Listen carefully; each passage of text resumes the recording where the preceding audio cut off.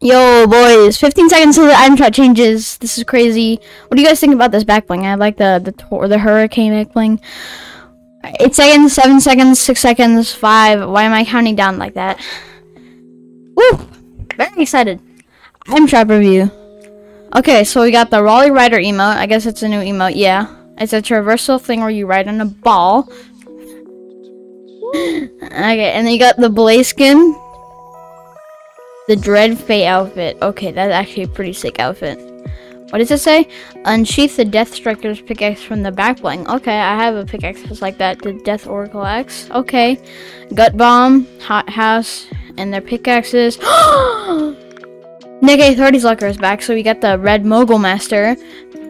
Driver pickaxe, the True Heart emote. Sky Stripe. Okay, yes, the Ruby glider.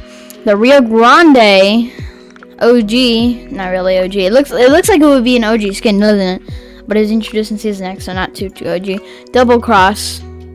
She hot. Yeah, if you say it's not too 2 OG and someone's watching this in chapter 5.